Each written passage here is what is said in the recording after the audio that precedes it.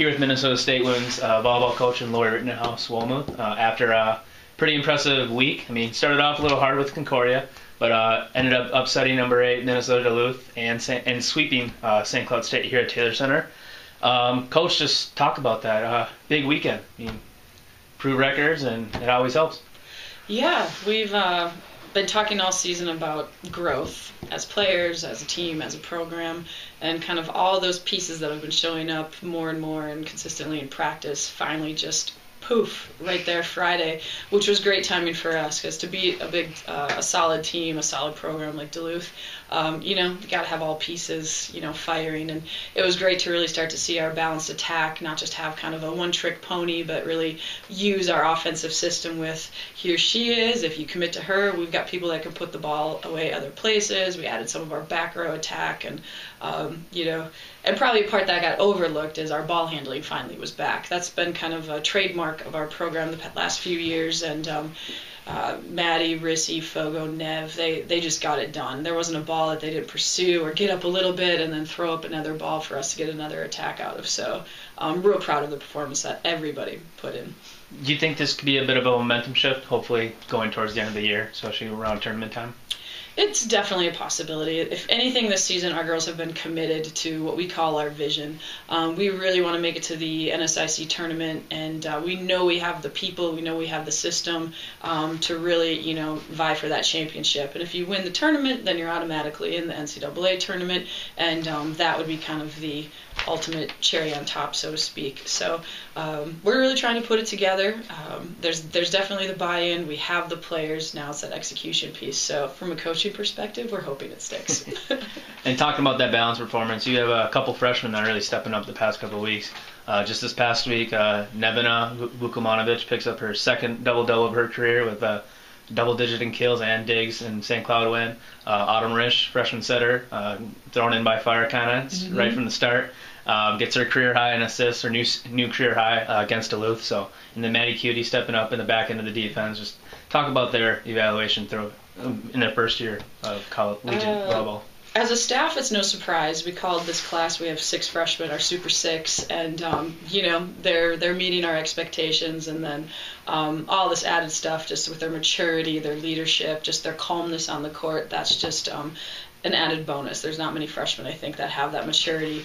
Um, Nev, she's just a baller. I mean, she's so athletic, and the vision she has, she's just crafty. She's just, you know, she can really see where a defensive breakdown is and exploit it. And then the back row, you can really tell she's played a lot of high level ball because she makes some great reads. Um, Maddie's just got touch. She's been a gym rat. Uh, her she comes from a coach's family. You can tell she's been around a lot. Um, I knew she would play really well on Friday because her old um, club coach is the assistant at Duluth. So there's always that added incentive where you want to kind of show off a little bit.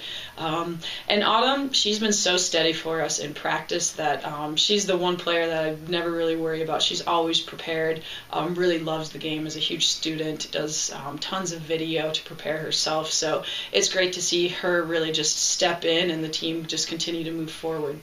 And moving on into the upperclassmen, um, obviously Krista's having the performance like she is this year as we expected.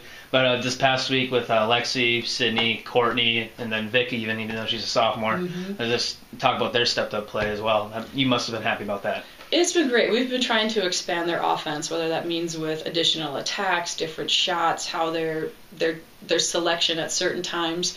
And gosh, it was great to see him just cause a lot of problems for the other team. you know, it was it was wonderful to see him tool the block, use their roll shots, get behind, be up. Um, and I think it was uh, our offense we really ran and recognized when we needed to use them, um, whether it was a matchup or the hot hitter, that type of thing. But yeah, um, and it's great to finally have three outsides that you can rotate through. It keeps them fresh, gives you different looks. It's really a problem for defense and blockers because you have to change your timing a little bit. So um, that depth that we um, thought going into the season we would have, it's really wonderful to see come through.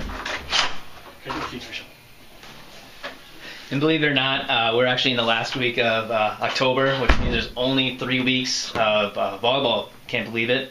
Uh, we've got a couple more road trips up north, and then over to Augie and Wayne, and then we finish up here in three weeks against uh, Sioux Falls and Southwest. So mm-hmm. some very good competition left. Um, so what's it going to take? And top eight teams make the conference tournament. So what's it going to take to reach that right now?